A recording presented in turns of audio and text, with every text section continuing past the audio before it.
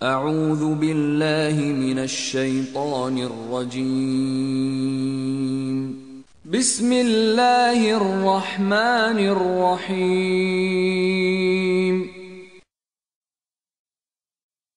നൂൻ പേനയും അവർ എഴുതുന്നതും തന്നെയാണ് സത്യം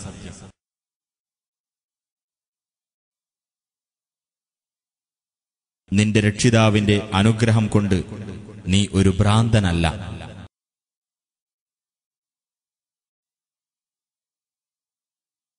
തീർച്ചയായും നിനക്ക് മുറിഞ്ഞു പോകാത്ത പ്രതിഫലമുണ്ട്.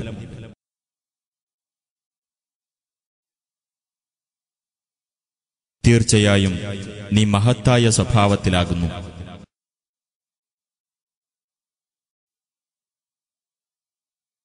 ആകയാൽ വഴിയെ നീ കണ്ടറിയും. അവരും കണ്ടറിയും.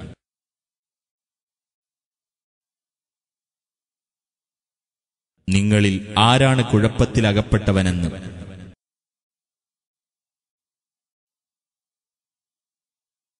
തീർച്ചയായും നിന്റെ രക്ഷിതാവ് അവന്റെ മാർഗം വിട്ട് പിഴച്ചുപോയവരെപ്പറ്റി നല്ലവണ്ണം അറിയുന്നവനാകുന്നു. സന്മാർഗം പ്രാപിച്ചവരെയും അവൻ നല്ലവണ്ണം അറിയുന്നവനാകുന്നു.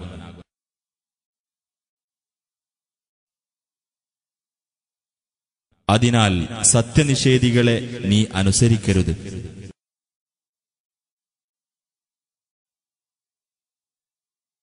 നീ വഴങ്ങിക്കൊടുത്തിരുന്നെങ്കിൽ അവർക്കും വഴങ്ങിത്തരാമായിരുന്നു എന്നവർ ആഗ്രഹിക്കുന്നു.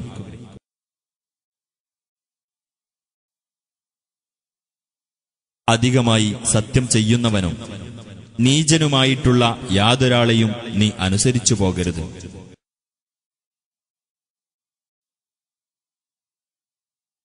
കുത്തുവാക്ക് പറയുന്നവനും ഏഷണിയുമായി നടക്കുന്നവനുമായ.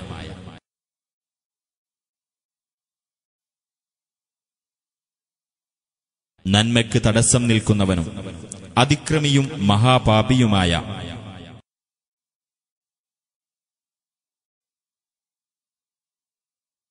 ക്രൂരനും അതിനു പുറമെ ദുഷ്കീർത്തി നേടിയവനുമായ.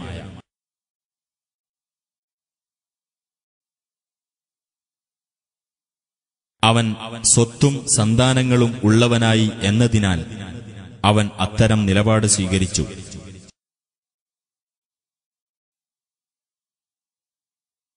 നമ്മുടെ ദൃഷ്ടാന്തങ്ങൾ അവന് വായിച്ചു കേൾപ്പിക്കപ്പെട്ടാൽ അവൻ പറയും പൂർവികന്മാരുടെ പുരാണ കഥകൾ എന്ന്.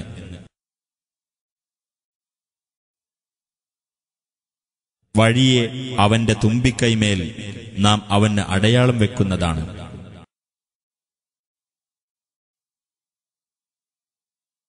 ആ തോട്ടക്കാരെ നാം പരീക്ഷിച്ചതുപോലെ. തീർച്ചയായും അവരെയും നാം പരീക്ഷിച്ചിരിക്കുകയാണ്. പ്രഭാതവേളയിൽ ആ തോട്ടത്തിലെ പഴങ്ങൾ അവർ പറിച്ചെടുക്കുമെന്ന് അവർ സത്യം ചെയ്ത സന്ദർഭം.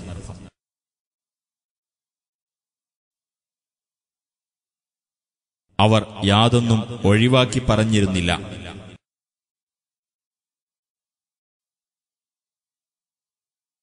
എന്നിട്ട് അവർ ഉറങ്ങിക്കൊണ്ടിരിക്കെ. നിന്റെ രക്ഷിതാവിങ്കിൽ നിന്നുള്ള ഒരു ശിക്ഷ ആ തോട്ടത്തെ ബാധിച്ചു.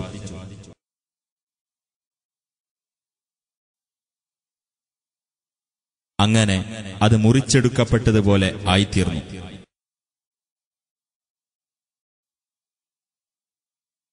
അങ്ങനെ പ്രഭാതവേളയിൽ അവർ പരസ്പരം വിളിച്ചു പറഞ്ഞു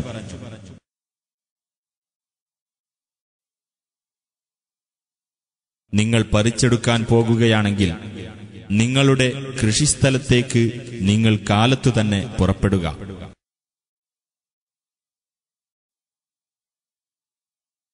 അവർ അന്യോന്യം മന്ത്രിച്ചുകൊണ്ടുപോയി.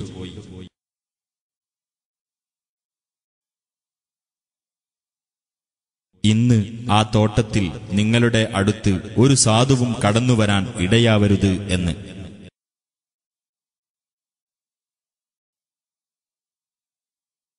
അവർ സാധുക്കളെ തടസ്സപ്പെടുത്താൻ കഴിവുള്ളവരായിക്കൊണ്ടുതന്നെ കാലത്ത് പുറപ്പെടുകയും ചെയ്തു.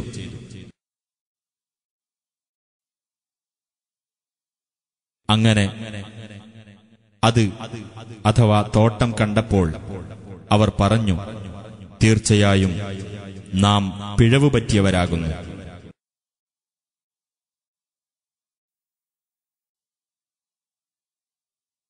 അല്ല നാം നഷ്ടം നേരിട്ടവരാകുന്നു.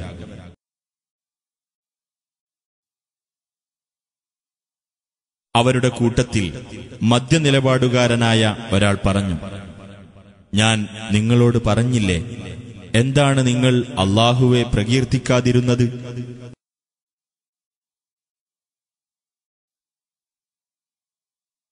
അവർ പറഞ്ഞു നമ്മുടെ രക്ഷിതാവ് എത്രയോ പരിശുദ്ധൻ. തീർച്ചയായും നാം അക്രമികളായിരിക്കുന്നു.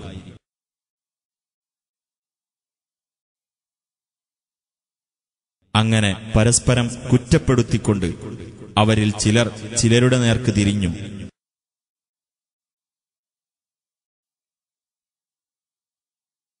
അവർ പറഞ്ഞു നമ്മുടെ നാശമേ.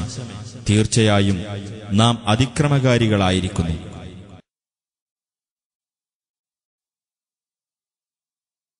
നമ്മുടെ രക്ഷിതാവ് അതിനേക്കാൾ ഉത്തമമായത് നമുക്ക് പകരം തന്നേക്കാം. തീർച്ചയായും നാം നമ്മുടെ രക്ഷിതാവിങ്കലേക്ക് ആഗ്രഹിച്ചു ചെല്ലുന്നവരാകുന്നു.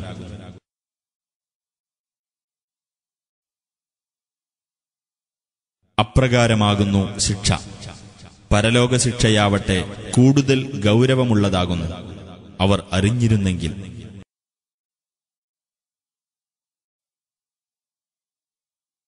തീർച്ചയായും സൂക്ഷ്മത പാലിക്കുന്നവർക്ക് അവരുടെ രക്ഷിതാവിങ്കൽ അനുഗ്രഹങ്ങളുടെ സ്വർഗത്തോപ്പുകളുണ്ട്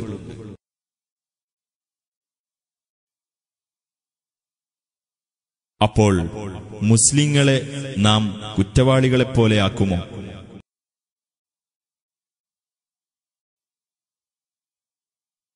നിങ്ങൾക്കെന്തു പറ്റി നിങ്ങൾ എങ്ങനെയാണ് വിധി കൽപ്പിക്കുന്നത്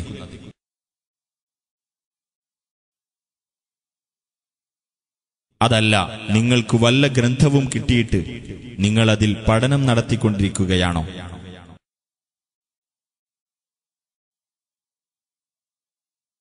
നിങ്ങൾ യഥേഷ്ടം തെരഞ്ഞെടുക്കുന്ന കാര്യങ്ങൾ നിങ്ങൾക്ക് ആ ഗ്രന്ഥത്തിൽ വന്നിട്ടുണ്ടോ?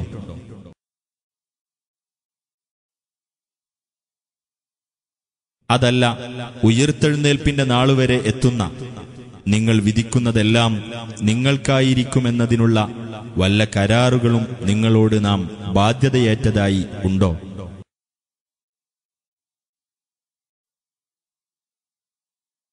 അവരിൽ ആരാണ് ആ കാര്യത്തിന് ഉത്തരവാദിത്തം ഏൽക്കാനുള്ളത് എന്ന് അവരോട് ചോദിച്ചു നോക്കുക.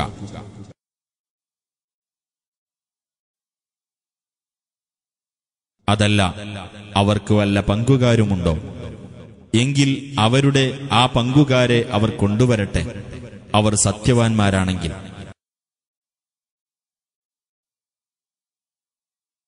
കണങ്കാൽ വെളിവാക്കപ്പെടുന്ന ഒരു ദിവസത്തെ നിങ്ങൾ ഓർക്കുക. സുജൂത് ചെയ്യാൻ അന്ന് അവർ ക്ഷണിക്കപ്പെടും. അപ്പോൾ അവർക്കതിന് സാധിക്കുകയില്ല.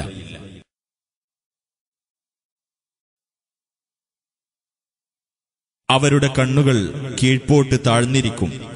നിന്യത അവരെ ആവരണം ചെയ്യും. അവർ സുരക്ഷിതരായിരുന്ന സമയത്ത് സുജൂതിനായി അവർ ക്ഷണിക്കപ്പെട്ടിരുന്നു.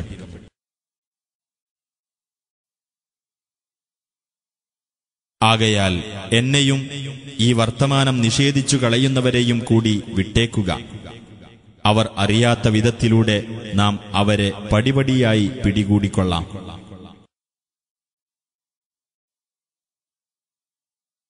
ഞാൻ അവർക്ക് നീട്ടിയിട്ട് കൊടുക്കുകയും ചെയ്യും. തീർച്ചയായും എന്റെ തന്ത്രം ശക്തമാകുന്നു.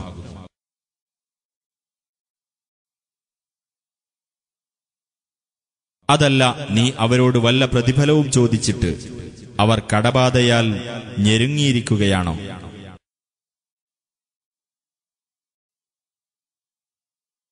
അതല്ല അവരുടെ അടുക്കൽ അദൃശ്യജ്ഞാനമുണ്ടായിട്ട് അവർ എഴുതിയെടുത്തുകൊണ്ടിരിക്കുകയാണോ?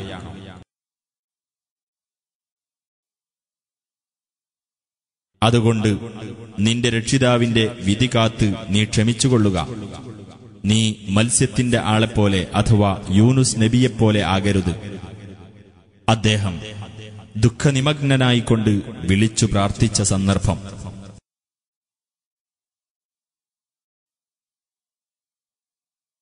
അദ്ദേഹത്തിന്റെ രക്ഷിതാവിങ്കിൽ നിന്നുള്ള അനുഗ്രഹം അദ്ദേഹത്തെ വീണ്ടെടുത്തിട്ടില്ലായിരുന്നെങ്കിൽ അദ്ദേഹം ആ പാഴ്ഭൂമിയിൽ ആക്ഷേപാർഹനായിക്കൊണ്ട് പുറന്തള്ളപ്പെടുമായിരുന്നു.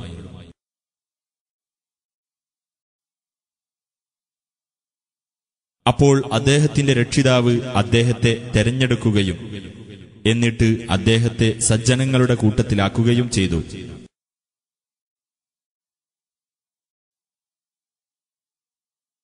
സത്യനിഷേധികൾ. ഈ ഉത്ബോധനം കേൾക്കുമ്പോൾ അവരുടെ കണ്ണുകൾ കൊണ്ട് നോക്കിയിട്ട് നീ ഇടറി വീഴുമാറാക്കുക തന്നെ ചെയ്യും. തീർച്ചയായും ഇവൻ ഒരു ഭ്രാന്തൻ തന്നെയാണ് എന്നവർ പറയും.